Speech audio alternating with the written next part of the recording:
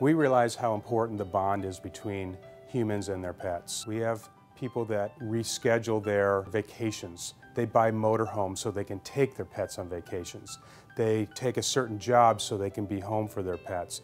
People are very, very bonded to their animals. When you bring your pet to Palomar Animal Hospital, be assured we will treat them as if they were our own. We treat dogs, cats, birds, rabbits, and small exotics. Palomar Animal Hospital has been in operation now in North County for 27 years. We've been at our present location since 2010. Some of the services that we provide include internal medicine, surgery, dentistry, preventative medicine, pain management, boarding and grooming. Companion laser therapy is a way that we can reduce inflammation, swelling, and decrease pain through a non-surgical method. We strive to provide the highest quality of services to keep our patients healthy so they may live long, happy lives. If you have any questions, concerns about your pet, please call our office. We would love to see you here at Palomar Animal Hospital. And we are open seven days a week from 8 till 6, Monday through Friday. On Saturday and Sunday, we're open from 8 until 4 p.m.